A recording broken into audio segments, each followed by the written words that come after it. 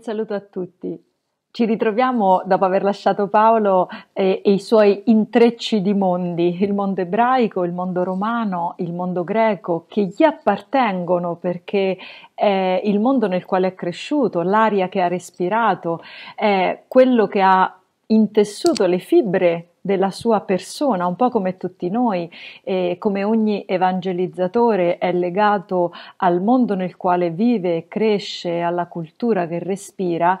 e per ricordarci eh, sempre di questa, di questa caratteristica della sua persona, ma anche del suo eh, stile poi comunicativo, eh, basta ricordarci del lavoro con cui eh, Paolo si manteneva, che era quello del fabbricante di tende. Eh, le tende venivano fabbricate intrecciando, intrecciando fili, intrecciando peli di capre, ad esempio, o lavorando le pelli. Eh, ovviamente stiamo parlando eh, di tende non da finestre, ma eh, di tende da alloggio, soprattutto ad esempio eh, venivano utilizzate dai militari e quindi ne, ne vendevano, ne servivano tantissimo bellissime o comunque per chi eh, per viaggio doveva permanere eh, così all'aperto.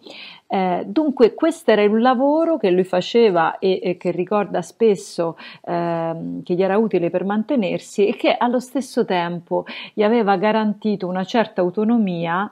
eh, economica, ma allo stesso tempo quella straordinaria possibilità di incontrare persone eh, con cui si lavora.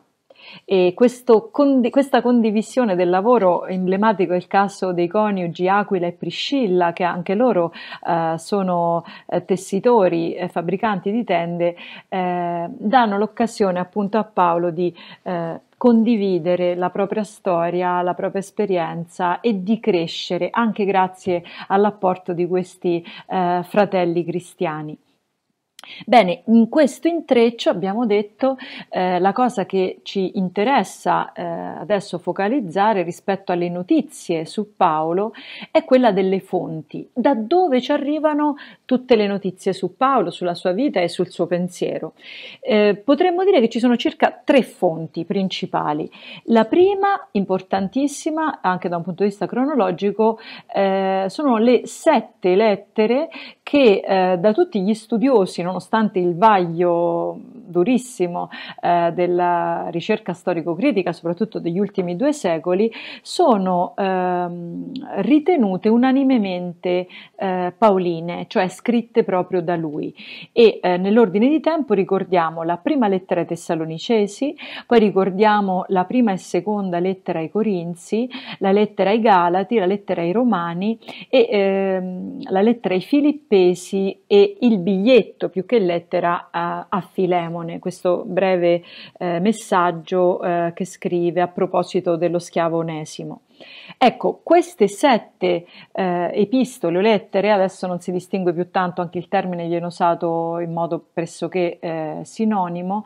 ehm, ci dicono eh, una un po' anche evoluzione eh, del, della sua esperienza, perché sono state scritte nell'arco ovviamente di alcuni anni, ma anche una parzialità eh, perché chiaramente eh, sono, mh, no, come abbiamo detto già fin dal primo incontro, non sono disc- discorsi generali, astratti, eh, sistematici. Si tratta di aiutare a crescere le comunità a cui Paolo eh, si rivolge. La prima lettera ai Tessalonicesi, quindi ai cristiani di Tessalonica, eh, è stata scritta probabilmente da Corinto intorno al 50. La eh, svolta di Paolo è avvenuta più o meno nel 35, quindi già sono passati molti anni. Eh, ovviamente quando Paolo scrive ai Tessalonicesi, ai Corinzi, ai Galati, non dobbiamo pensare a tutti, ma a quelli che vivendo a Tessalonica o a Corinto o a Roma o a Filippi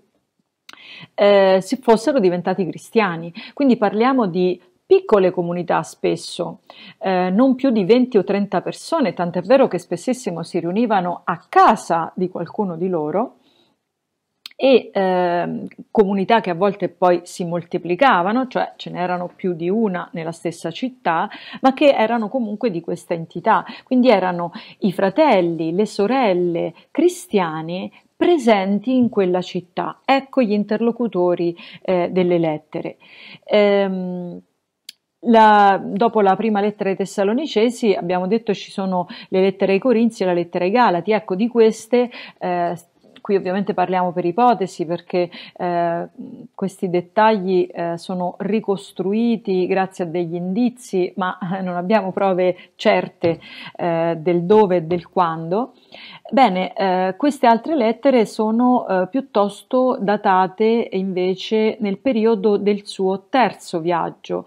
probabilmente la prima ai Corinzi e la lettera ai Galati da Efeso intorno al 55, la seconda ai Corinzi forse dalla Macedonia un paio d'anni dopo e poi eh, nel tempo successivo ehm,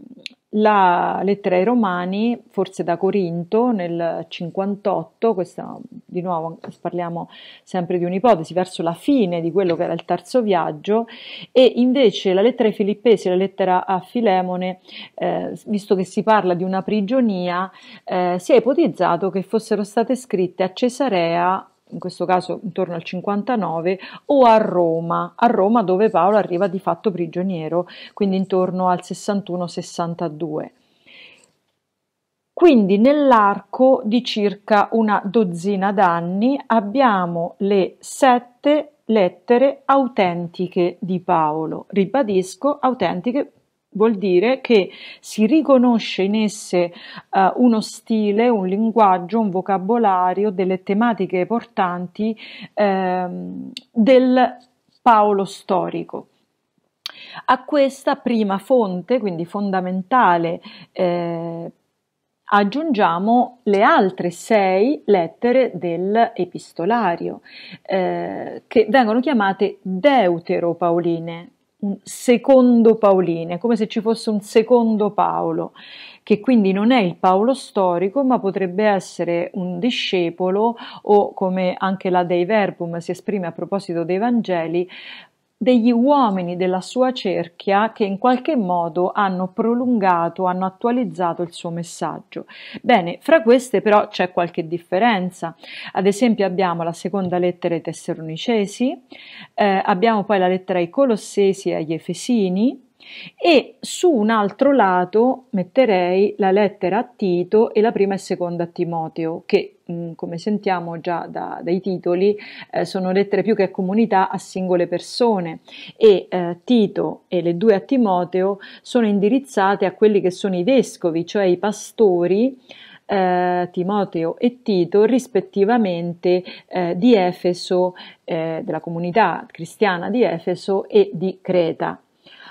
Allora, proprio per questo queste ultime tre vengono chiamate lettere pastorali. Eh, di fatto in queste non troviamo tanto una riflessione sulla diffusione del Vangelo, su problematiche particolari eh, rispetto alle quali Paolo dava, eh, provava a dare una risposta, ma piuttosto eh, si affrontano tematiche di organizzazione della comunità e infatti qui si parla anche di una strutturazione di quella gerarchia eh, che poi ovviamente si svilupperà mo- molto di più eh, nei decenni e nei secoli successivi. Questo, oltre appunto ad altri dettagli più di carattere letterario, fanno sì che queste tre lettere vengono messe appunto un po' eh, anche come datazione associata a quella che è un po' la terza generazione cristiana. Quindi parliamo, se Paolo eh, muore intorno al 67, eh, piuttosto queste lettere vanno verso l'80, il 90, il 100 addirittura, eh, quindi verso la fine del primo secolo. Un discorso leggermente diverso invece per Colossesi ed Efesini. Eh, queste due io le chiamo un po' eh, delle lettere che stanno un po' sulla soglia fra Paolo e il dopo Paolo, eh, sono le uniche due che hanno un legame strettissimo l'una con l'altra, nel senso che Efesini è una rielaborazione, un approfondimento ecclesiologico di quello che eh, troviamo in Colossesi, eh, che invece è più centrata proprio sulla figura di Cristo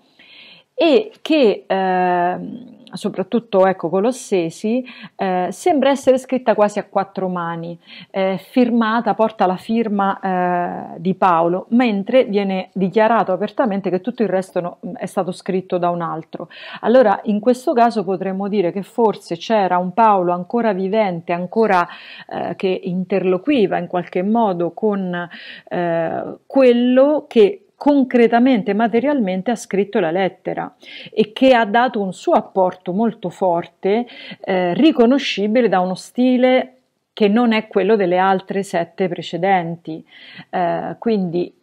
potrebbe essere stata scritta poco prima o poco dopo la morte di Paolo, anche a seguito di contatti stretti con lui, ma certamente con uh, un intervento eh, di qualcun altro, che poi qualche anno dopo è stato ulteriormente ripreso e sviluppato nella lettera agli Efesini. Quindi ecco, già nel tempo vediamo le 13 lettere eh, dell'Epistolario Paolino eh,